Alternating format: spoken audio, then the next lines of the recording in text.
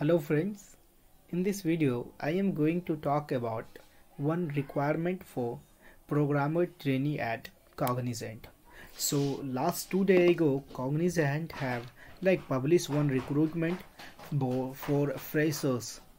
So the, you can see that job posting time is right date is December 1st 2020.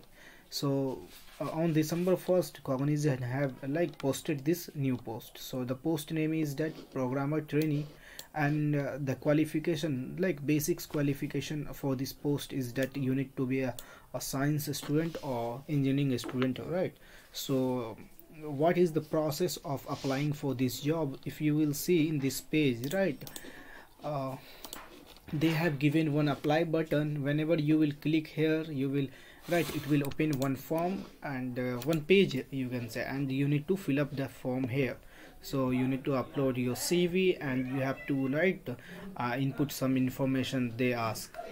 So I'll, if you will see right uh, here you have to first process and you need to do first that upload you need to upload your cv and after uploading that cv they will write uh, take some information from your cv and you have to check that your correct information and you have to submit the information and like some skills what you have and you need to right press on next you will go for like submit process for this post. So if we will talk about that what kinds of kind of job this is so it is like simply it is a programmer trainee. It means that when you will apply from here right after applying from here they will write review your cv if your cv is going to shortlist then they will send you one email right regarding that your cv is shortlisted. After that sometime you will get another email for like online test.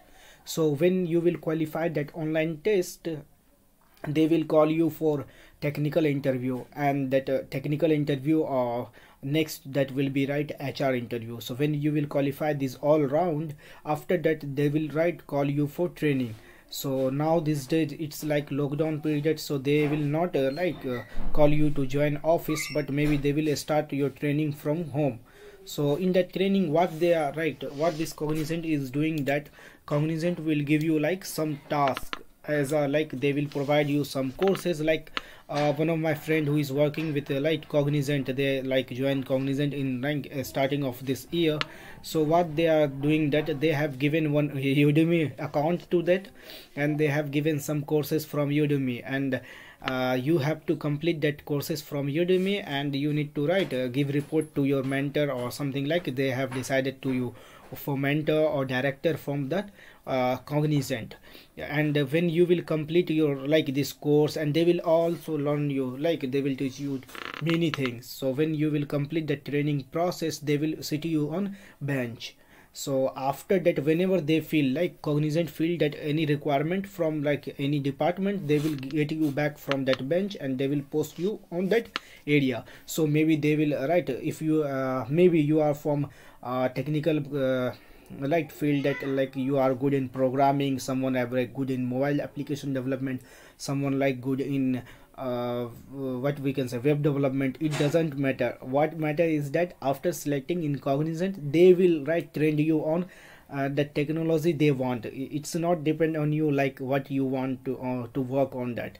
So suppose one of my friend that is very good in java but after getting selected from cognizant they are working as a web developer.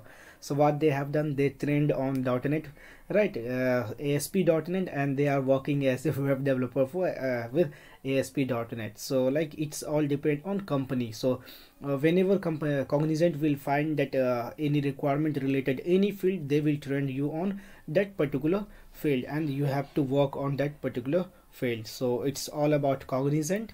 So apply for this job and all the best for your first round that like we can say that uh, for selecting your cv so whenever you your cv will be selected you will get email for that. If your cv is not going to select you will not get email. So let's hope you will get apply and you will get email for that.